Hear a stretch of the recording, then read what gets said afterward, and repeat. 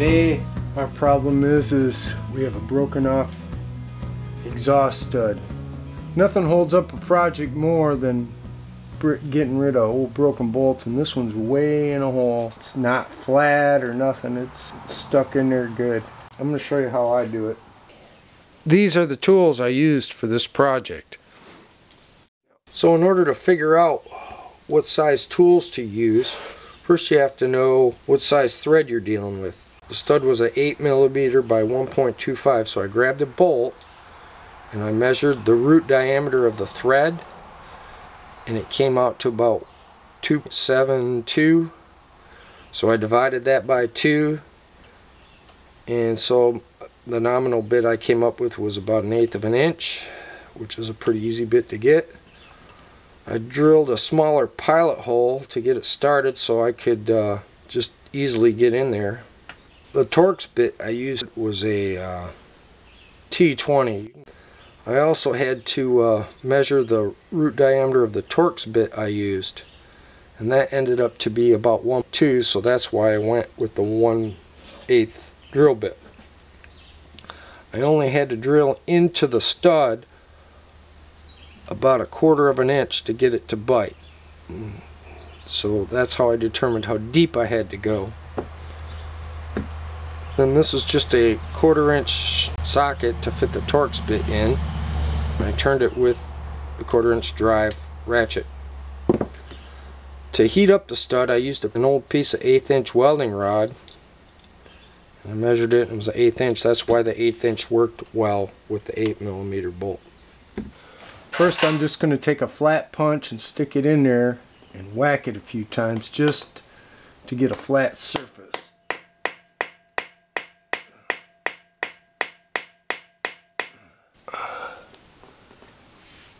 And I'm going to take a center punch, try to get a marking.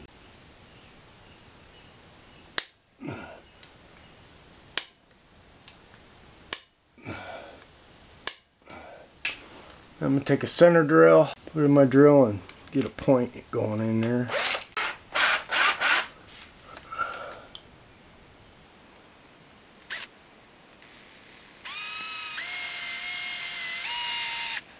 See I got a little start just so my drill doesn't wander. Get some oil in here. Then I'm going to start with a really small drill. I really don't want to ruin the head and have to take this all apart. So first I'm starting out with a 3 32 drill bit and I'm just going to drill a little bit of a hole in here. Ah, one hard bolt.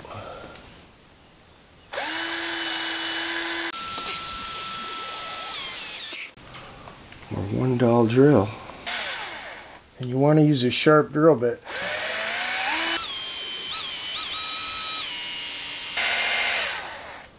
A little oil in there.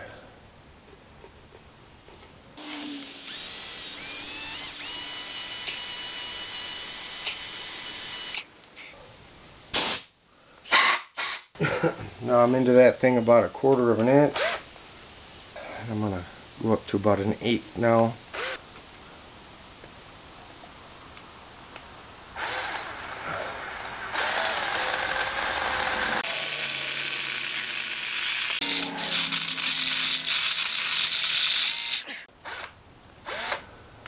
Alright, got it open to about an eighth. Now here comes the trick that I use to uh, get the thing loose.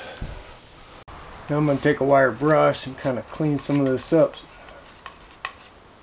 because I'm going to hook my uh, stick welder up to this thing and use it to heat that bolt up, that broken stud up a little bit. So now I'm going to hook this thing in here. And this is just a piece of old welding rod and I put a little bit of a chamfer on there and I'm going to stick that in the hole. This is my Lincoln stick welder and I'm going to set it to 75 amps and kick it on. You don't want to touch this thing because it's going to get hot.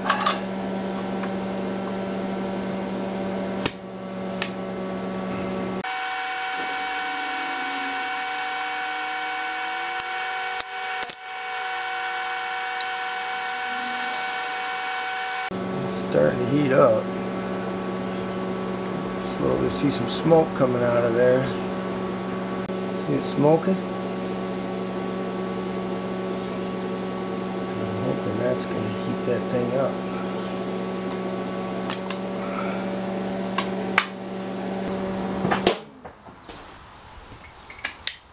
We're going to pound a Torx bit in there.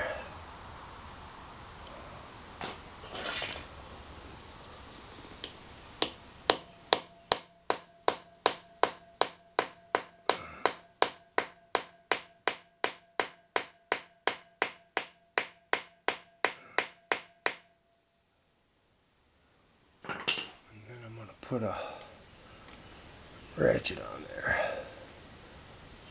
Try to break it loose without stripping it. Oh. Maybe gonna have to throw some other heat to it.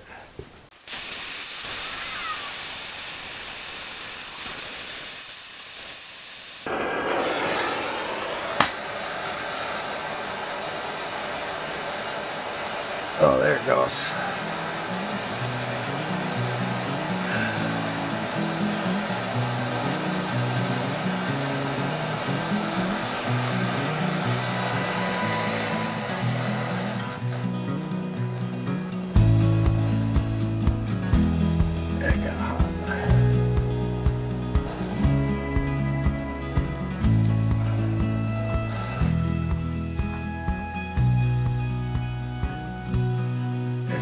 That stud out of there without wrecking the threads. And I'm pretty happy with that. I'll just put a new stud in and we can get this thing back on the road. And here's my new stud. Now there's a right way and a wrong way to put these in. The, the part that goes in is flat. This end is kind of rounded. So I'm going to take a couple of old 8 millimeter nuts, put them on there. Take two wrenches lock them down stick the new stud in the hole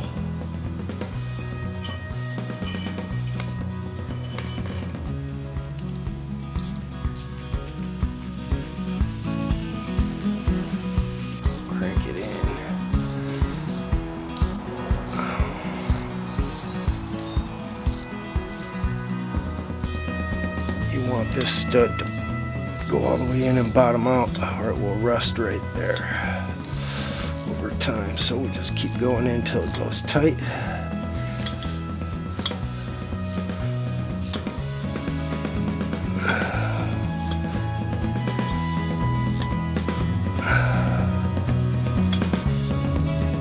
And that's good enough.